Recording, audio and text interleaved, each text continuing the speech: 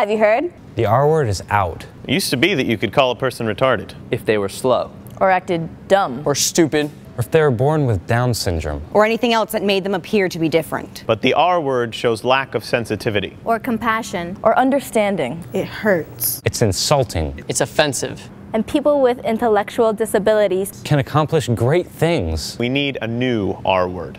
Respect. Spread the word to end the word. Take the pledge at rword.org.